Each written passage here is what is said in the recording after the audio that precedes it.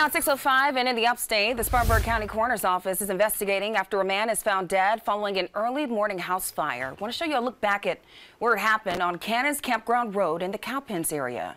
Reports show crews were called to the home just after midnight Sunday morning, and the coroner has since identified the victim as 63-year-old Reginald Wilburn.